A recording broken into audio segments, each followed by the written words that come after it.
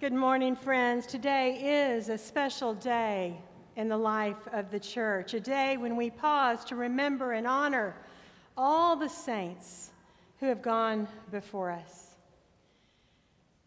I think about all the saints in my life, and I imagine you think about all the saints in your life. I remember my father was the kind of man who brought sunshine to every room that he entered. He was in sales. Need I say no more? They need to be sunshiny folks, right? And whenever he would walk into the office, and I often got to go to the office with him, when he walked in, the first thing he said was, with, with arms lifted high, Glory! And that's how he was known. He signed his cards Glory, Basil. My mom was a nurse. She worked in the operating room. And from her, I learned compassion. From my father, I learned the power of a positive attitude, no matter what you may face. And I remember one time I. Um, I was fired from a job, really through no fault of my own. I was working as the Director of Communications for the Department of Human Resources for Georgia. And I had left my job at the television station uh, where I was a producer and for years had worked with them. And they asked me to come on board and help promote other programs that they had. And I was hired by the commissioner.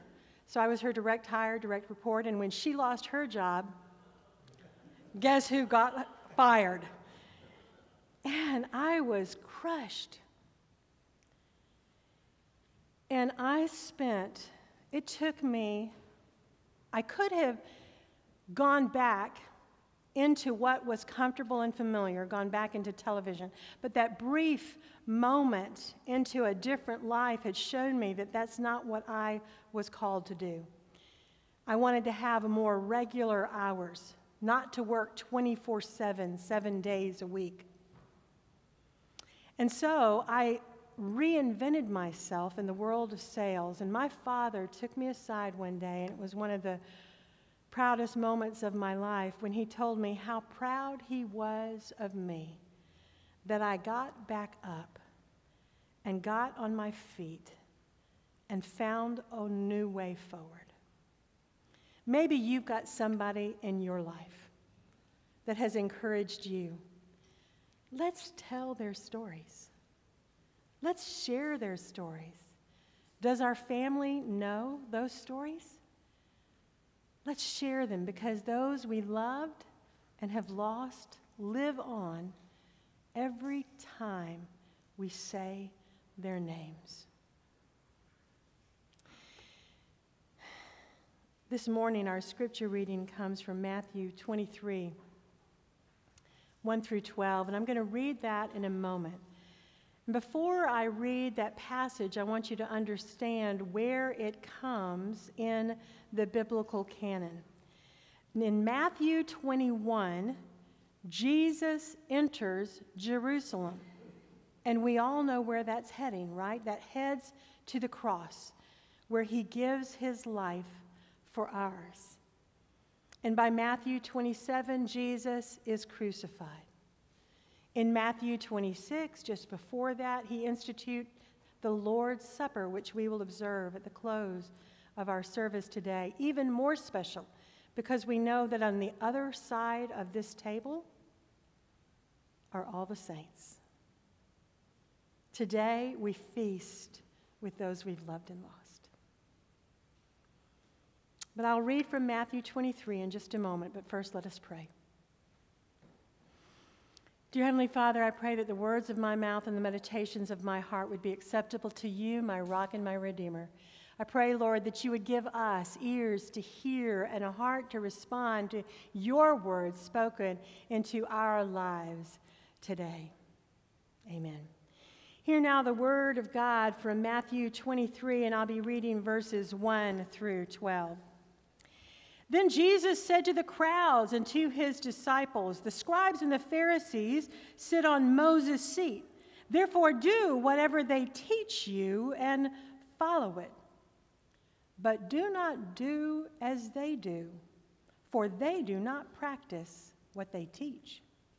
They tie up heavy burdens, hard to beat, and lay them on the shoulders of others, but they themselves are unwilling to lift a finger to move them. They do all their deeds to be seen by others, for they make their phylacteries broad and their fringes long. They love to have the place of honor at banquets and the best seats in the synagogues, and to be greeted with respect in the marketplace, and to have people call them rabbi. But you are not to be called rabbi, for you have one teacher, and you are all students. And call no one your father on earth, for you have one Father, the one in heaven. Nor are you to be called instructors, for you have one instructor, the Messiah. The greatest among you will be your servant, and all who exalt themselves will be humbled, and all who humble themselves will be exalted. This is the word of God for the people of God. Thanks be to God. Now, I don't know about you, but Matthew 23 seems mighty rough on the Pharisees. Amen? We're probably all sitting in our seats and saying, I am so glad I am not a Pharisee. Just to give you a little context, there were some words I used in there that you may not know. In verse 5, I talked about they do all their deeds to be seen by others, for they make their phylacteries broad and their fringes long. Phylacteries were little leather pouches that they wore. And in those leather pouches, they had written the Torah, the law of the land that they were to observe. And the fringes, the longest fringes, signified those who were the most righteous. So they went around boasting about who they, they are and what they know. We may think that's not us. But before we breathe a sigh of relief, let us consider a modern day Pharisee. A modern day Pharisee is someone who emphasizes external appearances over the state of their heart. A modern day Pharisee is someone who prioritizes strict adherence to rules and traditions over grace and mercy and love. A modern day Pharisee excludes people who do not believe what they believe. A modern day Pharisee is someone who preaches one set of rules and lives by another. A modern day Pharisee is one who believes that they are better than someone else. Jesus challenged the Pharisees to examine their hearts. And he challenges us to examine ours. Jesus reminds us that the heart of faith is about a genuine love for God and for others, rather than adhering to a checklist of religious traditions.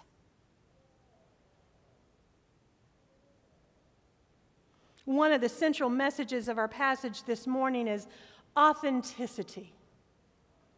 It is being the same person on a Sunday that we are on a Monday, being the same person in public that we are in private.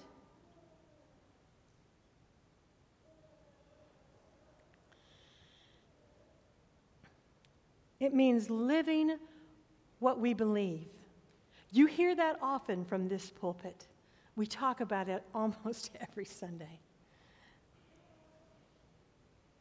Authenticity flows out of having a deep relationship with Christ. We are not perfect. We cannot ever be perfect, but we worship a perfect God. And when we have a close relationship with Christ, it refines us and it begins to shine through us. one of the best ways to develop a deep relationship is through constant conversation with God, through a deep relationship with Christ. Now, I don't know about you, but I've had friends through the years, and the ones that I never have conversations with, those some of those oldest friends, the relationship is not so close anymore, right? We keep that close relationship with someone when we are in constant conversations. Our families are a good example. I guess because we have to talk to them, right? I hope we want to talk to them. But we stay in touch with each other through those constant conversations, and that's what prayer is. So that's where this passage led me to think about how do I develop an authentic relationship with Christ? And the best way is through prayer. Through truly praying through truly having that deep relationship with Jesus. As we study this morning passage, I want to apply what we learn to the true nature of our Christian life, to the nature of prayer. The first lesson I read from this passage is that we connect through God through sincere prayer, right? We're sincere. In Matthew 23, Jesus makes a clear distinction between the empty, performance based religion of the Pharisees and the genuine relationship that God calls us to have. The Pharisees were more concerned with appearances, making their prayers and religious acts in public places where they could be seen and admired and noticed. But Jesus is calling us to something deeper. when we are having honest conversations with God, there may be times when we do not have words. I think about those days following my husband's passing. And honestly, I still have days like that today, if I'm being honest two years later, where I simply don't have the words.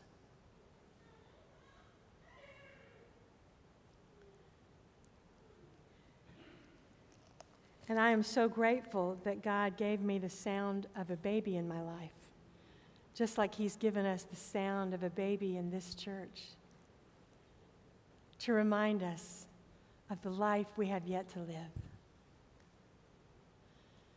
But in those moments when I cannot pray, I think about Psalm 5, the first few verses. Give ear to my words, O Lord, give heed to my sighing.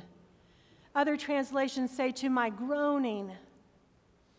Listen to the sound of my cry, my King and my God, for to you I pray. O Lord, in the morning you hear my voice, in the morning I plead my case to you, and I watch. So even when we don't have the words to pray, God hears us. He hears the sighs of our hearts. Prayer is our lifeline to our Creator, our direct line to His heart. And when we pray, we're invited into an intimate conversation to God. And not only do we speak to God, sharing the sighs of our hearts, but we also are still so that we may hear God speak to us.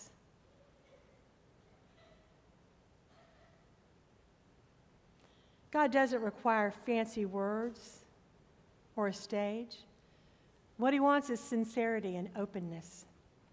So, church, I have a question for you today. What is our prayer life like right now? Is it routine, perhaps something we do before meals or at bedtime? Or is it a place where we truly connect with God, where we have come to a place in our lives where we are in constant conversation with God, where everything we say and everything we do is bathed in prayer?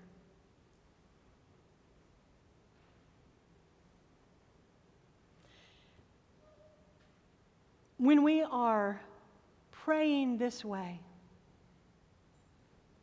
we are able to love others as Christ loved us. And I say this today in the days leading up to an election, and someone will be disappointed with who wins.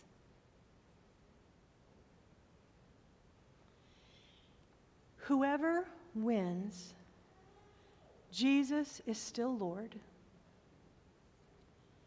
And we must love each other in victory or defeat. I'm going to ask you a question. I know most of you are Georgia Bulldog fans. For the first half of that Georgia Florida game, who did we love? Huh? Did we love Florida? yes, we did. You'll know you're walking in a close relationship with Jesus when you can say, Yes, I love them even then. Do you hear what I'm saying?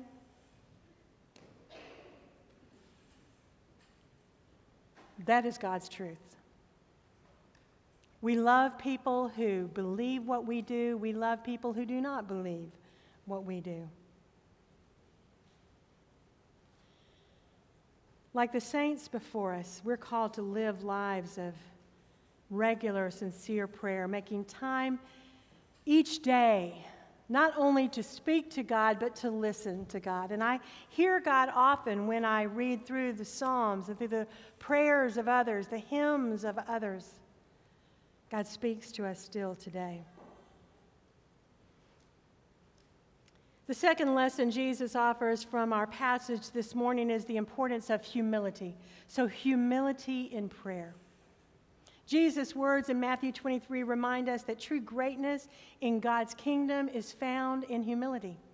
The greatest among you will be your servant, he says, for exalt, those who exalt themselves will be humbled, and those who humble themselves will be exalted. This is an essential lesson for us especially when it comes to prayer. Humility in prayer means coming before God with the recognition that we are utterly dependent on Him. Every breath we take is by the grace of God. Every day we wake up, we give praise to God. It's realizing that we don't come to God because we're worthy. We come to God because He is gracious and his generous love of us. True prayer comes from a humble heart, one that acknowledges, Lord, I need you. I cannot do this without you. And let me tell you, I pray that prayer every day. Sometimes just getting out of the bed takes that prayer. And anyone who suffered loss knows of what I speak. I think about all the saints who have prayed for us through the years. They approached God not with pride, but with deep humility, knowing that everything they had, everything they were, came from the Lord. And so we too must come before God not with a list of accomplishments, not with our big phylacteries, but with a heart that is open and humble, ready to receive His grace. The final lesson we need to learn is to make persistent prayer a lifestyle. Make that constant communication with God and lifestyle. Jesus encourages us throughout the Gospels to persist in prayer. He tells us to, to ask, to seek, to knock, right? So many passages that come to mind. To never give up bringing our needs to God. The saints we remember today, they may not have lived perfect lives. Neither do we. Because of this truth, God calls us to a life of persistent prayer, returning to God again and again, no matter the season. In Matthew 23, Jesus teaches us that true discipleship isn't about public displays, it's about the state of our heart. And when the state of our heart is right with God, our lives reflect that.